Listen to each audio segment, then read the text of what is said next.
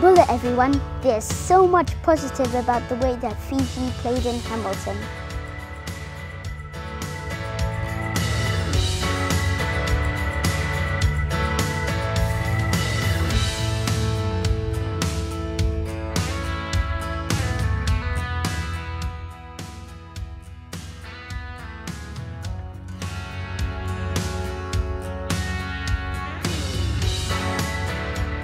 They beat Samoa, South Africa and Australia.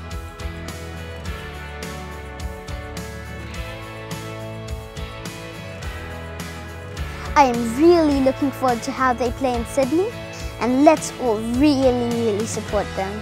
Manaka Vakalefu Gwenmother.